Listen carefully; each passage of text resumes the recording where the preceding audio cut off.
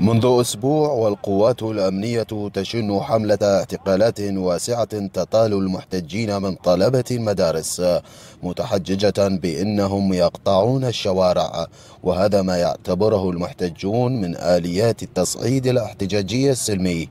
أول شيء إحنا طلاب. ضربنا عن المدرسة ماكو دوام لأن حضرة جنابك جاي يشوف رحلاتنا كسروها كل شيء يسوون.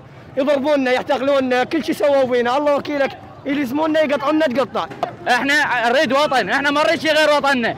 هذول إيش يسوون بينا؟ إحنا شباب يعني يعني إحنا أكبر شيء بينا 18 سنة. الله شاهد يضربونا ليش؟ يأخذونا ليش؟ يعني والله حرام والقرآن حرام. حرام والله حرام. المحتجون أكدوا من خلال عدسة التغيير أنهم يمارسون احتجاجهم السلمي بالمقابل يتعرضون لأنواع القمع والاعتداء مجددين مطلبهم الوحيد. نريد وطن. يعني ليش وقت راح تبقى هاي حملة الاعتقالات من قبل الحكومة المحلية في محافظة كربلاء؟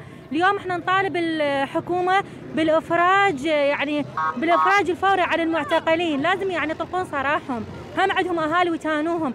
يعني ليش وقت راح يبقون يعتقلون؟ يعني يجي الظاهر هنا بالساحة حتى يطالب بحقه والدستور كفله له ليش هالاعتقالات شو مسوون؟ ليش هالقد يخافون منهم؟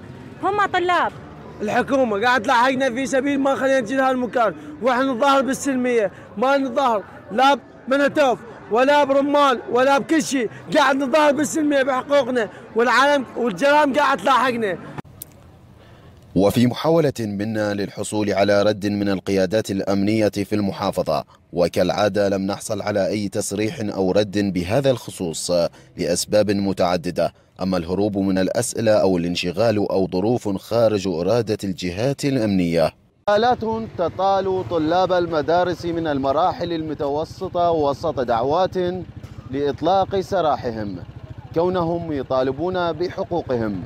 من كربلاء وليد الصالحي التغيير.